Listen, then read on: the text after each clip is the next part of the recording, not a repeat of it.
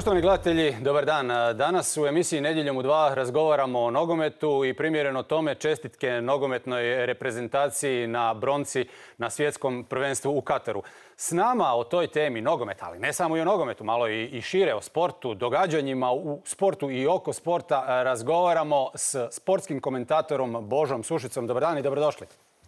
Dobar dan, dragi kolega i dobar dan svim gledateljima. Ovako, Božo, jeste li, rekao sam da se ovaj, razumijete u nogomet, jeste li našoj reprezentaciji, ali onako iskreno, prije ovog svjetskog prvenstva u nogometu davali šanse da će tako daleko dogurati? Prvo jedno rasterećenje. Jel mhm. možemo prirodno ostati na ti? Ajde, danas možemo. Da, da, svečana je situacija, dugo se znamo i na ti su onda troše koncentraciju, stalno misleći da, ti moram govoriti vi. vi, odnosno ti, ste prvi bosanac ovdje u emisiji, koji niste bosanac ovdje u emisiji. Obično takav problem imam s bosancima i hercegovicima, oni idu na ti, ali evo danas Božo Sušić i Stanković na ti. Može. Nisam, e, malo koliko prati nogomet i koji je nekako insider, bi mogao predvidjeti tako nešto. Tim više što je super rijetko da se tako veliki uspjesi ponavljaju. Nakon Rusije, Srebra, mhm. ja se mislio, ajde sad ćemo čekati jedno 20 do 50 do 100 godina da ponovo dođemo tu e, na vrh, pri vrhu. Ali evo, dogodilo se i vjerojatno očekuje i gledatelji da damo neko objašnjenje, obrazloženje. Pa, mislim, zna se kako se to radi. moraš imati talentiranu generaciju. Moraš e, jako puno rada uložiti. Moraš biti e, reda i discipline i odgovornosti. Pa treba biti motiva, pa to je recimo domoljublje i tako dalje. Ali domoljublje imaju svi, tako da se ne trebamo previše pozivati na to. E, to me zanima, da, ostanemo samo na tom segmentu. Kažu, e, Hrvati su veći domoljubi od, od ostalih reprezentacija. Kao izraženiji im je nacionalni naboj. Pa ne zašto bi Hrvat morao više voditi Hrvatsku nego Senegala Senegal ili Urugvaja Urugvaj. E, Razumljivo mi je bilo to 90. godina kad smo tek postajali svoji, stajali na svoje noge, postajala tek Hrvatska država. Onda je to uh, bio da se pokažemo svijetu, da se brendiramo na neki način. Apsolutno jedan dodatni motiv koji je možda još funkcionirao, ajmo reći 10 godina. Sad smo već 30 godina od toga. Mislim da imamo prirodno ljubav prema svojoj zemlji, prema kojoj živimo, prema njenoj povijesti, kulturi, sredini u kojoj jesmo, civilizaciji, ali da to više e, nije ono što nam daje neku prednost. Ali kad sam rekao, ti elementi koji jesu, trebaju se svi posložiti da bi došlo do uspjeha. Neki imaju puno bolje uvjete u tim e, segmentima ili elementima koje sam spominjao. Da, recimo, da kažemo Brazil, u startu je nešto brojniji od nas e, po ljudstvu, po nogometašima, da imaju više nogometaša e, nego što ima Hrvata u Hrvatskoj i u svijetu i tako dalje. I opet na koncu se to krene i mi eliminiramo jedan veliki Brazil. Mhm. kaže, e, ovo je samo mala digresija, kaže Romalo Bolković, kaže Božino, poznavanje nogometa do te mjere ekspertno da je na rubu zabrane ulaska u kladionice. E sad ja, ako je to tako, ja od vas očekujem neki dodatak, neku dodanu vrijednost. naravno, šest svjetskih prvenstava, tri medalje, ogroman uspjeh. Međutim, ajde da se zadržimo na Zlatku Daliću, na primjer. Kako je on tako miran tih pristojan čovjek. Ovaj, kako drži sve te zvijezde ovaj, na, okupu da se netko od njih ne umisli i da netko od njih ne solira u toj reprezentaciji i na taj način poremeti tu neku atmosferu za koju svi koji prate nogomet, koji više znaju od, od mene o nogometu, tvrde da je bila idealna. Pa to je jedan od odgovora o našem uspjehu.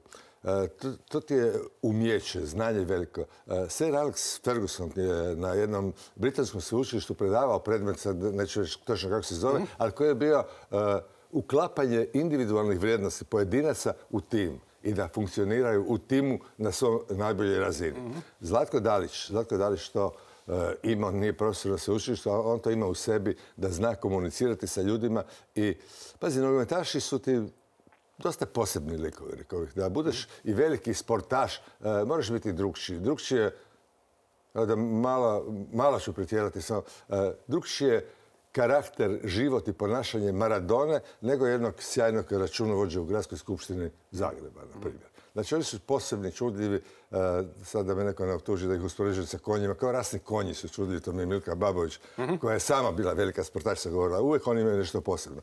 E, te posebnosti posložiti i stvoriti jednu, oni kažu obitelj, familija, e, možda to mrvicu pretjerano, ali jednu pravu klapu. To je Dalić uspio. I Dalić e, je izložen raznim kritikama, dijelom čak bih rekao i opravdanih. Sad smo prespavali već taj veliki uspjeha, ali još uvijek smo svi u slaviju fori, sad ćemo i dočekati naše nogometaše. E, Dalić je napravio da je posložio tu cijelu reprezentaciju, da nema iskakanja, da ono jedan za sve, svi za jednoga i, tako dalje. I ja mislim da Dalić je, e, da ja mislim to su činjenice, Dalić je najuspješniji hrvatski nogometni izbornik od stoljeća sedmog i bit će mhm. još sljedećih sto godina. Htjeli ste e, nešto reći ovdje u emisiji, posebno, ste posebno si mi to naglasio. A da, ispravio se sad. uloga vara, ovaj, kriteriji suđenja, da su ti zanimljivi jako na ovom svjetskom prvenstvu. Pa zanimljivi su mi na ovom svjetskom prvenstvu, ali zanimljivi su mi u, u nogometu. Traju te polemike oko vara. E, var je došao, var će ostati i biti će tu.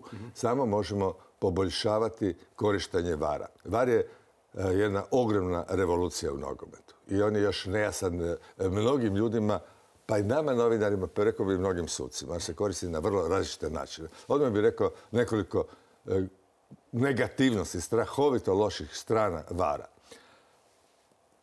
Kad sabiješ gol koji je neki smisao igre, dolazi do eksplozije, emocija među svim igračima, među e, stožerom, e, trenerima na klupi, među gledateljima na stadionu, doma. I sad se proslavi neki gol koji je odlučujući, recimo u 93. minuti za pobjedu. Svi se bacaju po podu, isplaću se, vesele se. I onda se javi, halo, var. Da je negdje na početku, prije završene akcije, te neko bio u zaleđu, pa se vratio iz zaleđa, kasnije po tom tumačenju sudjelovao u igri i gol je poništen. Prema tome, e, uništili smo onu spontanu prvu emociju i sad mi, reporteri koji to radimo, e, već kad je gol sa zadrškom ga slavimo. Jer se bojimo, e, mi vidimo da sad je sve u redu, ali dok će se vraćati akcija da je negdje bilo nešto u redu, da je, neko, da je, negdje neko napravio faul, negdje ga je dirnuo ruku i se vratio Ja odmah pitam malo da, da provociram. Zašto bi ti morao slaviti golove? Kao sportski pa, reporter? E, zato što je ta igra usmjerena na postizanju golova. Trebala bi biti usmjerena na postizanju golova. I gol je vrhunac toga, to je nekakva staza e, i sve drugo. I donosi konačno odluku o pobjedi. Kada više golova, on je pobjednik. I zato, zato to i slavimo. I zato su možemo doći na tu temu, zato su i najbolji igrači u povijesti svi e, glavni gol geteri. Ali da se vrati još malo na van. Mhm. Dakle, to je jedan minus vara. Drugi minus vara je što ga se vrlo često čeka po dve, tri, četiri minute i to 100% sudačka organizacija mora limitirati vrijeme ostavljeno ovim e, ljudima u var sobi e, koliko smiju trošiti vremena da proanaliziraju situaciju. Dosta je, ideš jedan put, dva put, tri put, dakle u tri put si bolje poziciji nego glavni sudac i mi svi ako gledamo e, da, je brže to riješi. A treća stvar je da stvarno tumačenje, ali to, to nije stvar vara, nego to je stvar ljudi, tumačenje vara je katastrofalno. Recimo, jučerašnji e, slučaj, ono, možemo sporiti oko, oko onog 11 s Argentinom, ali ono jučer, nad Guardiolom. E što se to dogodilo jučer? Pa to je, pa to je neobično. Pa, Ako nije sudac vidio kako ovi u varu nisu pa vidjeli. to je neobjašnjivo, neobjašnjivo. Prvo, e, taj, taj eksperiment, e, i meni razumije Fifin da odredi jednog suca koji je anonimus na svjetskoj sceni, ali to daruje Kataru kao domaćinu, objašnjava sve drugo, da on to ne vidi u redu dešava se sto put većim sucima to. Ali da u VAR sobi to ne vide. E, ja sam gledao to, gledam na utakmice u vrlo uskom krugu, moram ti reći da baš volimo prokomentirati, izanalizirati, ali ne možeš to ako je 50 ljudi koji svako daje svoj komentar i koji ga lami. Mi smo rekli odmah, 11 teras prije, ne zato što je za Hrvatsku, nego prije nego što je e, sudac se uopće pomaknuo 11 teras. Ja sam rekli, nije ga vidio, nema problema, sad će biti Biće, e, VAR. Ne. E, zašto, zašto nije VAR javio? Zašto nije bilo? Nema objašnjenja. E, pucaju društvene mreže od toga. Dakle, ne Hrvatske, nego mm. vani Englezi. Svi su rekli, pa nevjerojatno da je Christians robed. E, Ali očigledno ni vi ni ja, ni ti ni ja nećemo moći dati odgovor na to pitanje. Ali ono na koje mi možda možeš dati odgovor. A šta kažeš na Zdravka Mamića? Kaže, jučer se javio, kaže, samo da primijetim, jučer je igralo devet dinamovaca, pa eto, vama na volju, razmišljajte dalje o toj temi kako god hoćete. A javio se Zdravko Mamić, on je interesantan medijima u regionu, kako to mhm. kažu, jel? I prije nabacio jednu tezu da kad bi e, mi imali Aleksandra Mitrovića i Dušana Vlahovića špici igrače pa Zvezdine, e, da. bi bili vjerojatno prvaci e, svijeta. Pa to je činjenica što je rekao da je to devet igrača koji su bili u Dinamo, prošli kroz Dinamo ili baš originalni pravi Dinamovci. Ali što je još interesantnije, tu ima, jučer je igrao, mislim, čak pet igrača iz HNL-a.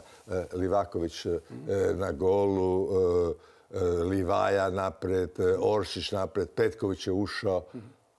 Još jedan, e, pet mislim da ih je bilo. To je veliki uspjeh da u toj našoj maloj ligi, u maloj Hrvatskoj, u maloj ligi, pet igrača igra u meču za svjetsku medalju. Dakle, ne ono što smo već prodali, izlifrali van pa vraćamo tu, nego to naši dečki odavde.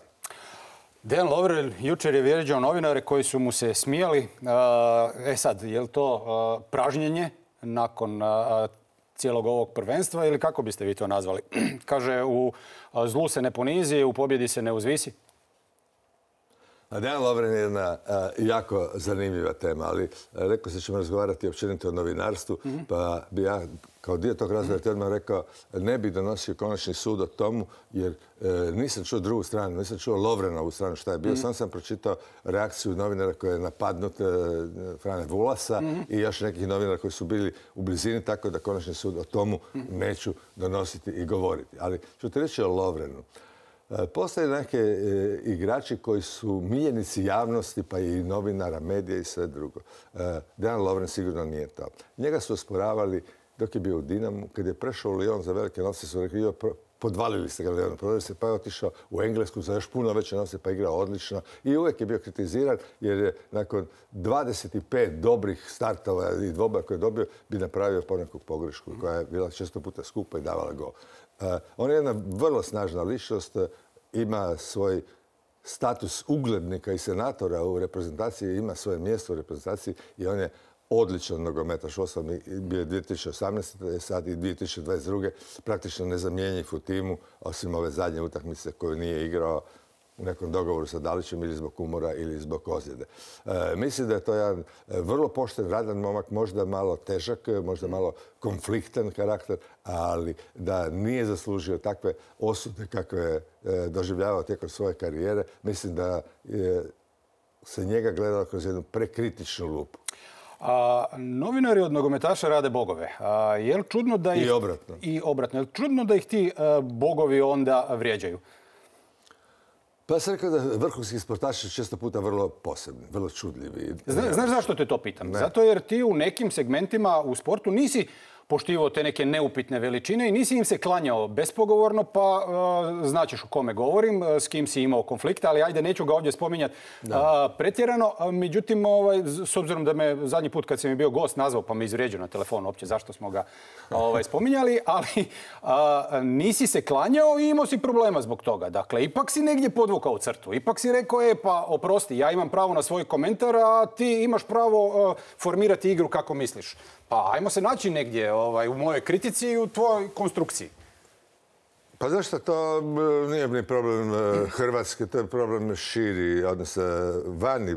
Recimo ja posebno pratim Italiju, italijanski nogomet, nekako se specijalizirao za to, pa i mhm. Englesku. Da viš kakva je kritičnost novinara e, prema sportašima, a posebno prema trenerima e, u talijanskim i engleskim medijima. To je, mi smo stvarno kamilica za njih. I navikli su ljudi da su izložili kritici i to trpe e, veliki igrači. Jedan Cristiano Ronaldo šta doživljava zadnjih pola godine, to je e, uvredljivo za njega i za njegovu karijeru. On, bez obzira što je isto stavio njemu su podijeljeni, neki ga jako vole, svi ga vjerojatno poštuju, mm neki ga vole, neki ga e, ne vole, da ne kažem da ga mrze.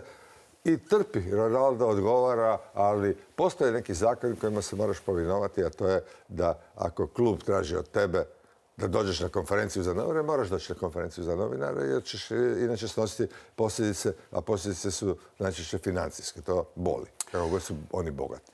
Kolegica Sanja Mikljušević-Pavić napravila je jedan prilog od pet minuta u kojem razmatra stvari koje su vezane uz Katar, oko Katara, nogometne reprezentacije i onoga više manje što se događa oko te nogometne reprezentacije. Pogledajmo ga, bit će nam uvod za daljnji razgovor.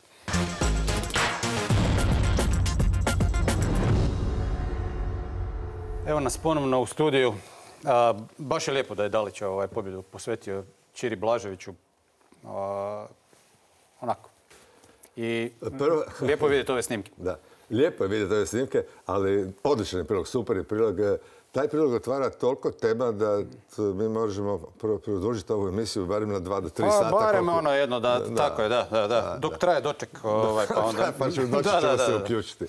E, fenomenalno, jako puno stvari je otvoreno. E, bravo, bravo Zlatko Daliću što sam sjetio Čire Blaževića e, u ovom trenutku koji je počeo zapravo sa tim reprezentativnim velikim uspjehom 98.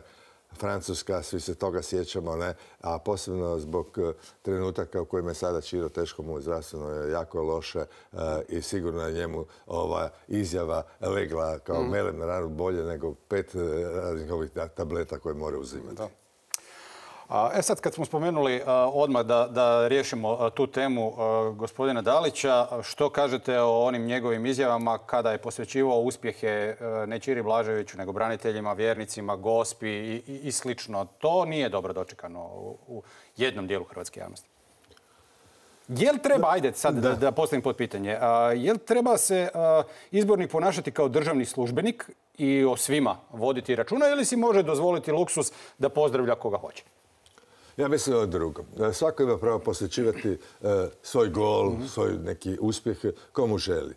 Majci, sinu, sestri, e, ljubavi, domovini, Bogu. Ko želi, to je stvar individualnog izbora i lijepo je kad neko ovako kao Dališ posveti sada jednom Čiri Blaževiću, ali da je posvetio i svoje žene, ne bi mu ništa zamjerio. Uostalom, čitaš sigurno puno knjiga, vidiš svaka knjiga ili puno knjiga je posvećeno nekomu na početku, na onoj predstranici piše komu je e, posvećena ta knjiga. Zašto, zašto ne? Ali kod Dalića ima, ne, Dalić nije savršen, ajmo tako početi. Da. ima neke stvari koje meni su malo teško prihvatiti. Recimo, e, on je nekako uveo taj nogometni govor e, riječ poniznost, trebamo biti ponizni, pa je to prihvatio i Luka Modrić i još neki drugi. Ne znam zašto bi trebali biti ponizni. E, poniznost podrazumijeva nekakvu skrušenost, pokornost, poslušnost. To nisu osobine koje bi trebale krasiti, recimo, jednog spomenutog Lovrena. Zašto bi on treba biti agresivan, e, čvrst, e, kako ćeš ponekad i rabijatan u tim dvobojima. Dakle, poniznost je riječ koja dolazi iz recimo vjerskog riječnika i koja više upozorava da shvatimo kako smo mali u odnosu na Boga i sve drugo, ali nije primjerena za ovdje. Ali kad smo otvorili tu temu, dopustit ćeš da kažem da je stvoren jedan nogometni novogovor. Mm pusti sad poniznost, ali ovo, svi analitičari od kojih su neki sjajni, koji su radili ovdje i Kataru i sve, imaju ima jedna druga riječ koja je meni bolesna, već koliko se upotrebljava. To je tranzicija. Tranzicije imaš na kile, na tone, tone i tone i sve Pa tranzicija, pa infiltracija, pa penetracija, pa transformacija, pa half space right, pa half space left, pa progresivni e, pasovi i tako dalje. Stvarno jedan govor koji je nepotreban, koji pokušava napraviti iz nogometa e, nekakvu znanost e, po rubu filozofije, hoda, ali zašto? Za sve to postoje normalni izrazi i nije nogomet tako, tako e, komplicirano. Dobro, Božo, kako ti tome doskačeš ovaj, s obzirom i da i dalje prenosiš nogometne utakmice, prenosio si ih i na tisuće, pa želiš ipak nešto novo reći. Ovaj, sad dobro, ne, tranzicija ti baš nije draga i penetracija, ali, ali možda neke druge riječi, možda sam sebi da ne budeš dosadan. Pa da, pa ima riječi, ima dobrih riječi koje su nastale od kad je Hrvatske, recimo zaleđe, jedna jako dobra riječ. Ne, e, ali ja ju isto ne isključujem offside zbog toga.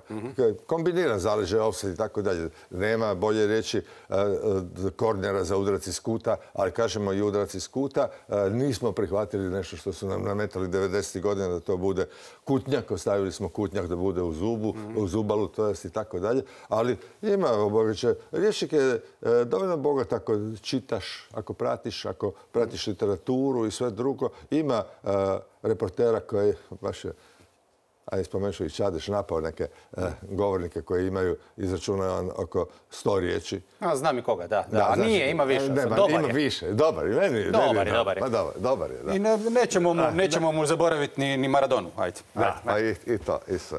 A, a, ali ima, i, ima komentatora koji imaju očito rješenje koji su pročitali par stotina ili tisuću knjiga, pa tako se stvara rječnik koji se druže sa ljudima koji imaju e, normalan bogat govor, pa i oni e, čuju te riječi. Tako. Ali ove riječi sigurno nisu nužne Pardon, nisu nužne u mnogo. A daj mi reci možda, jel te, jel te ovaj, uh, smeta, a ti možeš uh, uspoređivati ono što je bilo nekada i ono što je danas, tolika pažnja se posvećuje stvarima koje nisu sam nogomet, nisu analiza nogometa. A, evo, ovdje smo uvodno u prilogu imali više ovaj, navijača nego, nego same priče o nogometu. Je li to nekad bilo tako? A, I što iz toga proizlazi? Kolega Holiga je spomenuo zabava, sve je zabava. Da, opet si e, postavio grupicu pitanja u ovom e, pitanju. Pa dopala, ti se Ivana, jel Ma ne, nego Branimir Bilić ide u penziju, pa rekao, ajde, da, da, ne ostane uprnjeno mjesto. E, navijači su jedan super važan segment, a mnogi kažu najvažniji segment i zaista jesu. Taj nogomet se igra e, ponajviše zbog ljudi koji ga prate. Pa sad mhm. da li zovemo navijači, pratitelji nogometa, manje više nije tako važno. Ali ja bih tu grupaciju podijelio na tri kategorije jedna kategorija koji sebe nazivaju navijačima, a nisu baš navijači, to su huligani. Huligani koji su gotovo slučajno izabrali nogometnu pozornicu koja je jako osvjetljena i u, središtu pozornosti da svoje frustracije rješavaju tamo, izazivaju e, incidente, nerede, tuče. E, manje me smeta kad se dogovore da se nađu na nekoj benzinskoj crpki negdje u lici pa se tamo obračunaju Torcida i Bad Blue Boysi. Iako je to ružno i stvar policije i tako dalje, nije to fenomen hrvatski. Imaš u susjedstvu Delije i Grobare, u Beogradu imaš znam, u Škotskoj, eh, Rangers i Celtic, to su, to su grozne stvari. Kakve se tamo pjesme pjevaju o krvi, o sakačanju, o, straš. To, to su huligani.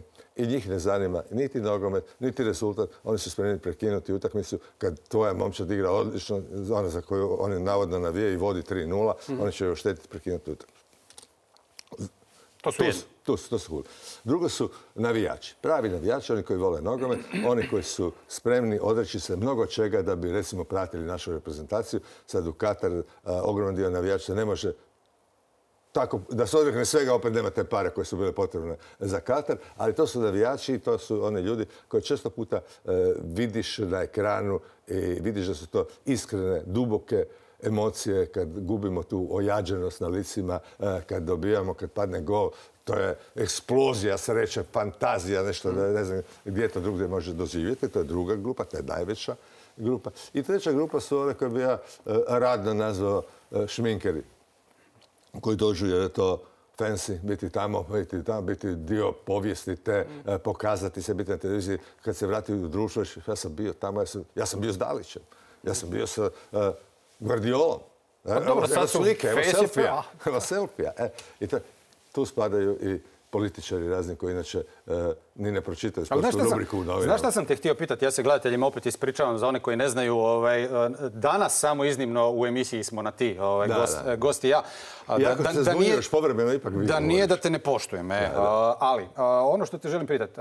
Imam prijatelja čak, sportskog novinara, koji više nije sportski novinar, jer je odbio pratiti nogometne navijače i pratiti žene nogometaša kada su ga u redakciji tražili. Konkretno radi se o jednom čak, to bi ti, ti si tu bolji ekspert nego ja, radi se o jednom rukometnom prvenstvu koje je bilo na dnevnom redu i onda su mu urednici rekli ne, nećeš raditi analizu. Kog to zanima u rukometu? Ikakva analiza. Nek se time Božo Sušec bavi. Ovaj, ti ćeš nama lijepo snimati...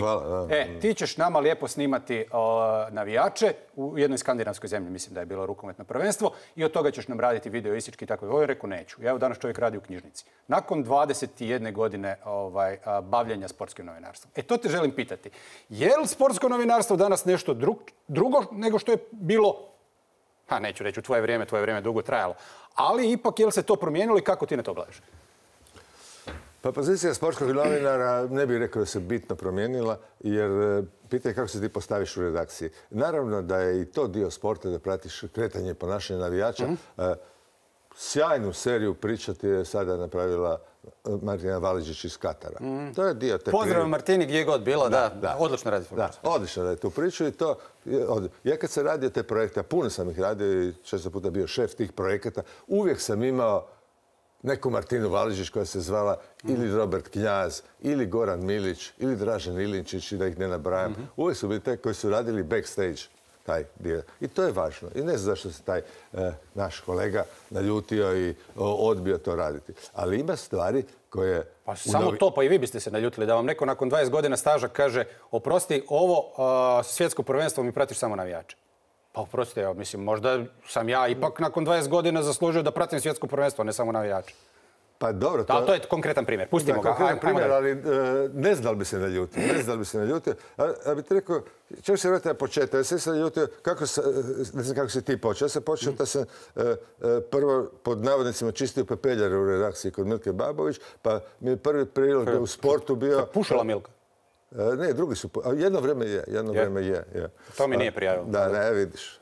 A, pa onda sam napravio prilog od 30 sekundi za neku emisijicu o pionirskom prvenstvu u Hrvanju u Sesvetama. Znači, počneš od toga, ali dobro, ti si obratno rekao, čovjek je radio već puno ozbiljnije stvari, pa je radio nešto što po njegovom sudu je ispod njegove razine. Nije. Ja, ja bi dan danas napravio, ne bi rado radio, ali kad bi dobio taj zadatak e, i bio u nekoj u radnom odnosu, onda bi radio sad kad nisam, kad sam slobodan, kad radim na autorski ugovor, onda radim zaista samo ono što želim. I ne bih želio sada pratiti e, navijače. Ali jesu važan segment. E, Božo, jedna mala digresija. Sad kad si mi rekao ovaj, to što radiš danas, e, bili smo na jednom panelu gdje si izrekao jednu zanimljivu konstataciju, pa bih te molio da je ponoviš ovdje. Kako danas izgleda posao sportskog novinara? Opiši onu situaciju kada dolaziš na posao i kada odlaziš s posla, što ti se u međuvremenu dogodi, jer mislim da to u mnogome opisuje promjenu u novinarstvu. Ne kod svih, na HRT-u je više manje slično kao što je bilo i prije 20 godina, ali a, u privatnim medijima to izgleda kako?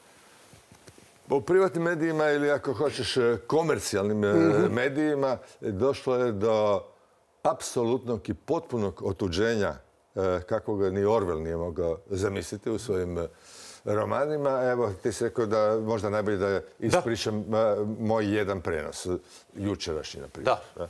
E, Krenem od kuće s autom, dolazim pred jednu zgradu, to je na radničkoj cesti, dole je jedna nova zgrada, Agram, smart building, pametna zgrada, već je napred na ulazu jedna rampa, ali ja imam svemoćnu karticu, pokažem karticu, rampa se digne.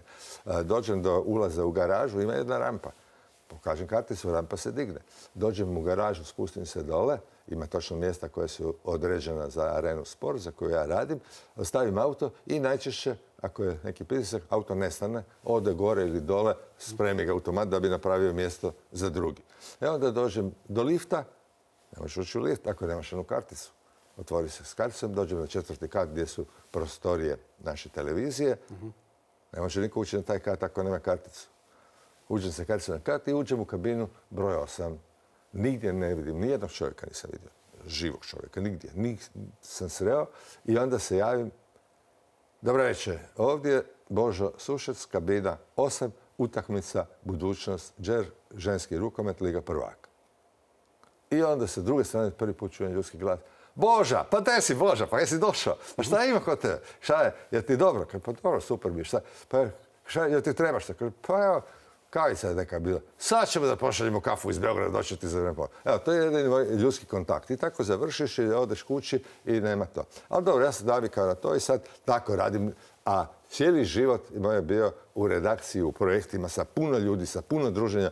Pričao sam e, puno o uspjehu nedeljnog popodneva sa pokojnog Saše Zalepugina, koji je baziran baš bio na tom silnom druženju, kao reprezentacija Hrvatske ili bilo koji druga zajednica. Bili smo strašno puno skupa e, u redakciji, izvan redakcije, u restoranu, analizirali i e, rekli Željko Malnar, taj ti prilog ne valja, pa to nije, to ne, nije ništa, to ne, to ovo treba ovo, ovo kaže, ma nije ovako i tako, i tako je živjelo jedno popodne i tako je imalo gledanost preko 70%. Ovdje sada uh, To što ja nemam nekog e, feedbacka kako ja radim, imam od mojih par prijatelja s kojima se čujem, ali što mladi ljudi nemaju nikakav odaziv na to što rade i ne, e, ne znaju da rade dobro ili loše. I ja ja povremeno ih slušam, pa sam primijetio dva, tri dečka koji imaju nešto u sebi da bi mogli postati dobri komentatori i došao sam kod jednog i rekao sam, slušaj, slušaj ovaj tvoj prenos, ovo, ovo, ovo i ovo. Ti ne možeš zamisliti koliko zahvalnosti je bilo u tom čovjeku. Da ima neku reakciju. Da neko nešto hoće reći o njegovom mhm. poslu. Mhm. Daj, mi samo reći, ko je onaj e, glas s druge strane bio? Odakle se javio? To nisam baš shvatio. Ko je? Kad si došao u kabinu broj 8, pa ti se javio, desi Božo? Iz Beograda, u Beogradu je naša centrala. Da, da, da, znam. Dakle, to je čovjek kojeg ti poznaješ ili ne poznaješ? Ne, ja nemam pojma ko je taj čovjek. E, neke glasove prepoznam kako se mi se stalno javlja. Ali to je centrala Arena sporta u Beogradu koja e, prima signale iz Zagreba, iz Sarajeva, iz Ljubljane i šalje ih e, nazad u naš program. Neki puta dobro, vrlo često jako loše. Kada već govoriš o novinarstvu, nedavno si rekao, mislim također na tom panelu nešto je bila tema, da, onako jednu bombastičnu izjavu si dao da je novinarstvo umrlo i to si dokumentirao izvješćivanjem iz Ukrajine. Što te smeta tu? Najviše i kako gledaš na novinarstvo? Pa, ako ti se pozivaš još na taj mhm. e, medijsko druženje u Rovinju, tada si ti to definirao mhm. e, što je mene smetalo. E, ti si rekao, pa mi smo odabrali stranu. I tako ide izvještavanje e, mainstream medija u Hrvatskoj, dakle javne televizije, ostalih televizija i najčitanijih e, tiskovina koje jesu.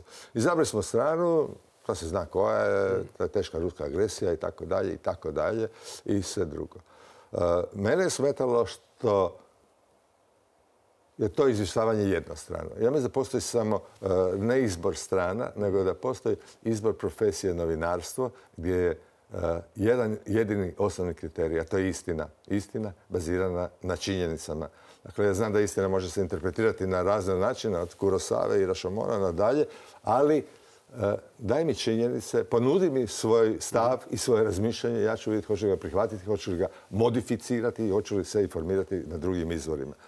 Kod nas, a kad kažem kod nas, mislim u Europi zapadnoj i Sjedinjenim državama, je zauzeti stav da se informiralo apsolutno sa jedne strane. Ja nisam, e, puno sam priloga gledao, ja nisam vidio nijedan prilog, e, vidio sam jako puno stradanjima Ukrajinaca koje su mi mučna i teška, ali nisam vidio nijedan prilog jer navodi se kao povod tog rata e, tretman Rusa u tim oblastima, Donjesk, Luhansk i tako dalje. Vjerojatno tamo isto nije bilo sve idealno i u redu. Nisam vidio nijedan prilog. Igram se ovdje da me optuže za rusofilstvo nekakvo. Ne, nisam rusofil uopće.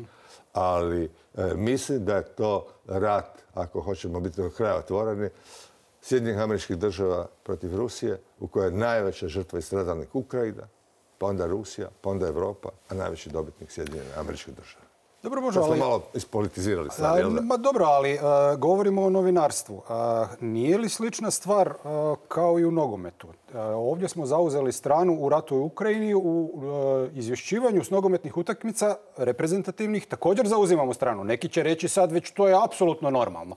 Međutim, sjetit ćemo se i nekih novinara koji nisu razmišljali tako. Evo, Žarko Susić bi vam rekao, ovaj, ne, nije normalno navijati za naše. Normalno je da, ti, da ti izvješćuješ utakmice i da kažeš ono što tamo vidiš. Pa meni dozvoli kao navijaču da ja navijam za naše. Ili ću se pozvati recimo na Miljenka Jergovića, koji vas jako simpatizira, ali je rekao, kaže, sportski komentator u jednom trenutku je postao i navijač. I kaže, komentiranje nogometnih utakmica pretvorilo se u iracionalni ritual praznog govorenja iz prvog lica množine i naravno da mi se nije sviđalo kada je takav, takav način izvješćivanja preuzeo i Božo Sušec.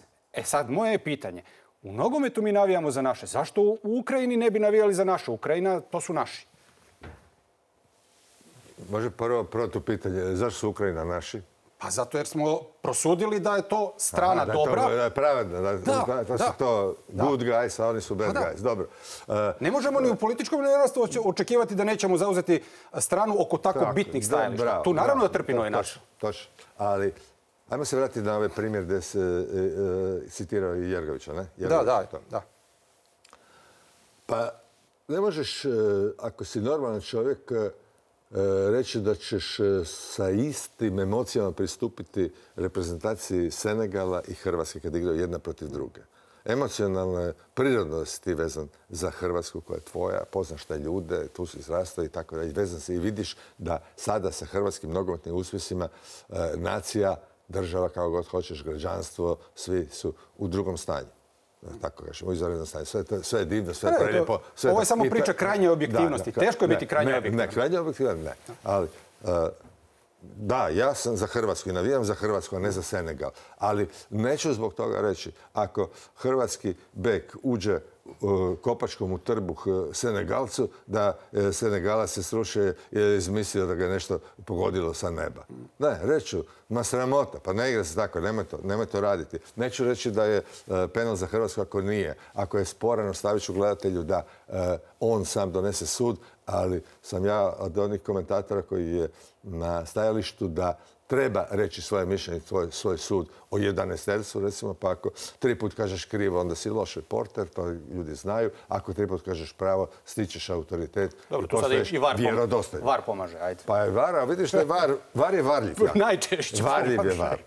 e, a što kažeš na onu tezu kada govorimo o, o ovim temama da su političari paraziti i uhljebi, a nogometaši heroji? E sad, ako je to tako. Što političari mogu naučiti od nogometaša i može li se uopće to dvoje uspoređivati? Ta dva zanimanja, ajde da tako kažem. jako je, svi kažu političari su smeće. To je jako nezahvalno zanimanje. Ti ako želiš biti dobar političar, ti se moraš zamjeriti mnogima. Recimo u Hrvatskoj moraš reći car je gola, onda te mnogi neće voljeti. Međutim, ovaj, ne znam sad, da je Livaković premijer i Modrić predsjednik, sutra dan ih ne bi ovaj, već voljeli s obzirom da bi morali narodu reći istinu. Pa ta usporedba mi uopće nije prihvatljiva i primjenjiva i e, ne daj Bože da Luka Modrić bude premijera, Livaković ministar bilo čega, bio bi to e, veliki gubitak za nogomet, a mislim da tu ne bi baš e, puno pomogli u politici. A politika, nažalost je politika stvorila takvo mišljenje o politici i političari. Spominjan je tu i stadion. Mhm. Pa prije nekoliko dana u emisiji Otvoreno Hrvatske radio televizije je napravljena jedna kratka priča o stadionu sa izjavama predsjednika bivšega Šukera, predsjednika sadašnjega Kustića, sa izjavama Bandića, Milana Bandića, gradonačelnika, sa izjavama Plenkovića, premijera, Marka Milića, glasnogovornika vlade, sa izjavama Nikoline Brnjac, ministrice gdje su svi kroz te godine i, sada obećavali stadion, stadion, stadion, stadion, stadion. Stadiona nema. u međuvremenu je Katar sagradio tih deset stadiona, da ne kažem Mađarska koliko je stadiona sagradila i tako dalje. Prema tome, političari svojim istupima, nastupima, obećanjima i neizvršavanjem obećanja, nedosljednostima su izgubili vjerodostojnost. I, tako, ih, tako ih ljudi, ja bih rekao, sa pravom doživljavaju. Što ti misliš o tim stadionima? Treba li izgraditi nacionalni stadion? Koga treba izgraditi? Čijim novcima trebali biti jedan ili njih pet, kako se spominje? Pa ja mislim da je e, podjednako čudo što smo mi tri puta među četiri e, na, e, na svijetu u nogometu, pa da jedna zemlja koja je na zadnja dva svjetska prvenstva je srebrna i brončana, nema stadion koji kad bi UEFA ili FIFA striktno primijenili svoje propise, ne bi se, igralo, niti na jednom stadionu u Hrvatskoj. I da stvarno se obećava hoće, hoće. Ja mislim, ali će biti rekao i znam, da e, nisu u pitanju pare. Pare se uvijek mogu naći sa razne stadioni i arene se zovu po tim sponzorima koji su dali najveći novac i tako da ih sad ne nabrajam, da ih ne reklamiram, kako se zovu i tako dalje. Pitanje je uvijek uh, ona da treba stadion ili za te novce se može sagraditi 50 vrtića i 12 škola? Pa to, to ti je vječno pitanje. Treba li izgraditi sveučilišnu bolnicu ili stadion prije? Da. To su, drugi su novci ovo, drugi su novci ovo. I ja mislim da treba Hrvatska imati barem tri do četiri pristojna stadiona. Kad kaže četiri, onda mislim ipak su ta četiri grada karakteristična Zagreb, Split, Osijek i Rijeka. Vjerojatno da. I nekakvi megalomanski po 50, 60, 70 hiljada ljudi. Može se sa 20, 30 tisuća e, pokriti apsolutno potrebe e, tih gradova i sve. A koji će biti nacionalni, može, se uzeti model e, dugogodišnji engleski da reprezentacija uvijek igra na Wembleyu, ne? a može se uzeti i to da reprezentacija igra od grada do grada da tako poštuje navijače i iz tih sredina, iz tih krajeva u koje dolazi. A nešto sam te ovdje pitao uvodno o Zdravku Mamiću, pa se sad vraćam opet na njega. izgleda da je on i dalje vladar Maksimira. Što ti misliš, to je dobro ili loše? Mislim, s jedne strane čovjek kaže devet dinamovaca, evo jučer vam je osvojilo treće mjesto na svijetu, ja sam tu isto nešto zaslužan. Pa mislim, evo sad i dalje želi držati te uzde u Dinamu, drži ih očigledno. Je li to dobro ili loše za klubski nogomet u Hrvatskoj? Pa ja ću vrlo direktno odgovoriti. To je loše za e, klubski nogomet u Hrvatskoj da e, takvu ulogu ima čovjek koji je izbjegao iz Hrvatske bježeći pred zakonom, pred sudskim odlukama i da nekako e, iz druge zemlje rukovodi klubom. To nikad nije dobro nigdje. Iako sad možeš napraviti igru pa reći, a ko vodi klubove najveći po svijetu je arapski kapital, kineski, ruski, američki i tako dalje. Mhm. Ali ovdje više nije pitanje kapitala, ovdje je pitanje i odnosa snaga u klubu i pa ja bih čak rekao i osoba koje su stale uz Mamića i one koje su protiv. mislim da nije dobro za Dinamo, da Dinamo bi bilo dobro da se transformira u nešto drugo. Transformira se nešto drugo i jako apsolutno nisam od onih koji žive u crno-bijelom svijetu i da bih htio pljunuti Mamića i reći taj čovjek je napravio samo zlo. Napravio puno zla, napravio puno dobrih stvari i e, on je zaslužan za mnoge uspjehe Dinama, za mnoge naslove Dinama, za mnoge transfere. Koliko se okoristio time, to su sudovi ustanovili i ustanovljavaju dalje. Još ima nedovršenih procesa koji se, e, u kojima se spominju stotine milijuna kuna. A, ovdje si mi spomenuo da radiš na areni. E, sad, arena je u ratu, ajmo to tako nazvati, ovaj, sa e, jednom drugom kompanijom, a obje srpske. E sad, ovaj, međunarodne, da, da, međunarodno, a srpsko. Kako vi gledate na to? Rat arene i sport kluba. Kako ti gledaš? Da, nikako da, da gledaj. zbunjen, zbunjen sam, zbunjen sam. Da, to sam u emisiji, inače se ovako te ja vidimo i družimo i uvijek smo na tim. Ali dobro, ovo ti e, daje odmah da, e, dru, drugo Uđeš u šablonu i teško izlaziš. Pa, kako se da ti kažem na ovo pitanje, ne, ne znam, ne znam pravi odgovor na, na ovo. Vučić je odlučio puno para uložiti da, ali ili ajde da budem otvoren. E. e. Ne smijem baš otvoreno. Dobro, ajde, onda malo izokola. Evo da, da. Neću te ja to puno željeti. Jesu međunarodne su to e, i to je međunarodni kapital većinskim dijelom, ali Arena Sport je ipak više srpski kapital. Mm -hmm. Vučić se brine i Vučić je htio uništiti svog protivnika, ali ne na sportu i na sportskim kanalima, nego na širem e, medijskom prostoru uništavajući njegove e, stanice, kanale i tako dalje. I zato je ovdje ubrizgan ogroman novac u arenu i arena je apsolutno sada sportska carica ovih prostora. Mm Poslije sad Katar će završiti, ali onda počinje e, te lige koje su gledane strahovito. Dakle, Liga prvaka, Euroliga, konferencijska liga, međunarodna, sve arena. E, Španjolska, Engleska, Francuska, Italija, sve arena. HNL je pobjegao na poseban kanal, to je jedna druga velika igra. Međutim, sada sadržaj koje nudi arena, prema sadržajima koje e, nudi sport klub, to je 6-0. Gdje je tu HTV?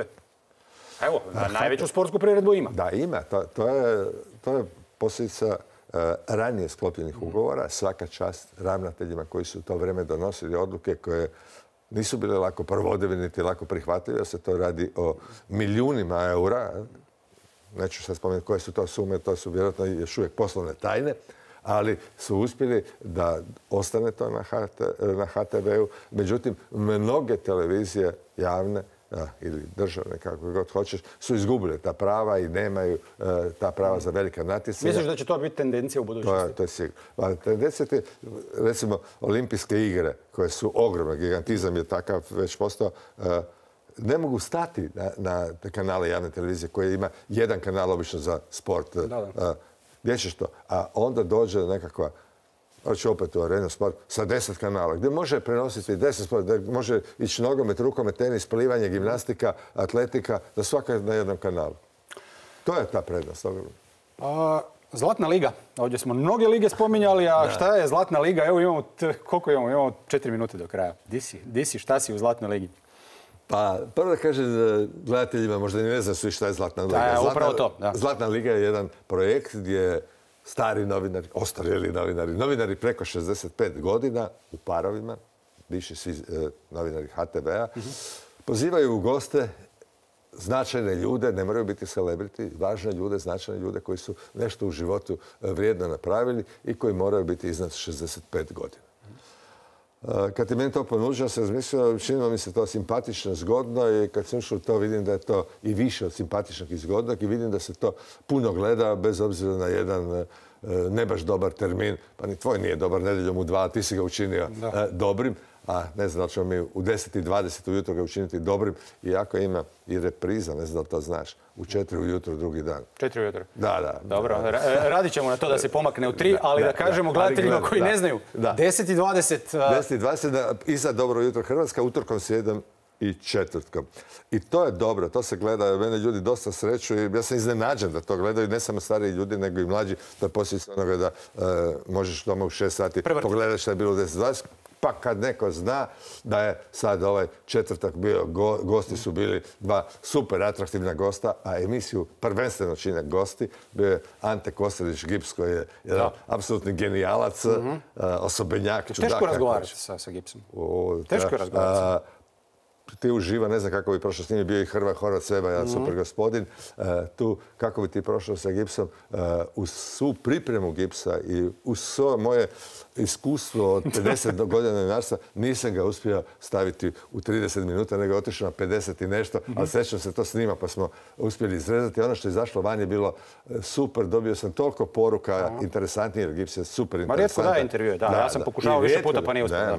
Pa ne, ima, ogromnu financijsku ponudu da napiše knjigu i ne želi, kaže to neću, to je ja pa jakanje, ja nisam takav. I jako volim dosta pričati o sebi, naravno i uspjesima. Janici, ali originalan je original. I ta emisija je, ja bih rekao, dobra. Mislim da je mama tog projekta, Marija Nemčić, eh, direktorica programa, eh, eh, ta emisija može postati vrlo dobra, što bi ja želio. Mi smo zemlja umirovljenika i sve više tendencija da ih... Moglo bi postati i odlično sa još više truda. I nadam se da tim putem ide ta emisija. Spomenuo si ovdje Gips. Ajde samo na kraju da mi brzo kažeš ako se sjetiš ovaj, Gipsi, njegovi uspjesi, Ivice, Janice i tako dalje. U kojem sportskom uspjehu si najviše uživao? Kad si bio najradosniji? Ovaj, šta te najviše prebacilo od uspjeha sportaša? Da, to je, malo si mi dao, koliko se, kada smo tu na kraju. Pa da, da, da. Ali ne znam, ja sam nekako bio jako vezan uz generaciju rukometaša, imam sam tamo puno prijatelja koji su osvojili zlato na uh, olimpijskim igrama u Atalanti, prvenstveno pokojni Istok Puc, mm -hmm. sa kojim sam se jako puno družio, bio u ribolovu, jedan i drugi smo ronili puno i tako dalje. To mi je jedan od najvećih, ali baš kad smo spomenuli Hrva Horvata, jedna od najvećih emocija uh, mi je bila ta bjelovarska, kad je taj mali Bjelovar, partizan iz Bjelovara, e, došao u Dortmund, u Westfalen halu, koja prima više od pola Bjelovara stane u tu halu, -hmm. kad su svi došli, igrala protiv dvostrukog prvaka Evrope, Gumersbaha, jakog, jakog, nema što koliko jakog, e, ko da igraju e, Manchester City i Inker iz Zaprišića. To je taj bio odnos otprilike. I svi su samo razmišljali da će, da će Bjelovar izgubiti sa 5, 10, 15 ili 20 razlike. Bjelovar je pobjedio, zahvaljujući dobrim dijelom i sebi Horvatu, ali to je ta emocija bila, to je moj prvi veliki prenos uopće u životu. Da, da, da, pa kad je nešto prvi put, da. I onda povratak je bio fascinantan, to je dobar uvod u ovaj doček sada. E, e, na aerodromu je dočekalo tisuće bjelovaraca iz Zagrebčana to i od aerodroma Zagrebačkog do Bjelovara je bila kolona kad smo prolazili pokraj Maksimiškog stadiona. Utakmica je zaustavljena i gledatelji su da bi, e, da bi, da bi pozdravili. Božo, reci mi uh, za kraj samo tko danas pobjeđuje, Argentina ili Francuska? A svi nekako misle da Francuska ima puno više pristalice u Hrvatskoj sve, ali ajde ti si počeo priču da ja dosta dobro pogađam neke stvari da kladionica. Mhm. Ja sam prije početka prvenstva rekao da će Argentina biti svjetski prvak ili da Argentina ima najviše šanse da bude mhm. svjetskim prvakom. Pa sam to ponovio poslije poraza Argentine protiv Saudijske Arabije. I ponavljam sada, mislim da Argentina ima više šanse. Božo, hvala ti lijepo. Vidimo se na sljedećem svjetskom prvenstvu. Uh, uh, hvala još jednom dakle, na razgovoru. Poštovani gledatelji, bilo je to sve za danas. Nema nedjeljom u tri. Evo, Božo Sušec mi je isprika s obzirom da ne može čovjek ostati, mora nešto dalje raditi, a i zbog dočeka nogometaša. Lijep pozdrav do sljedeće emisije. Doviđenja. Doviđenja.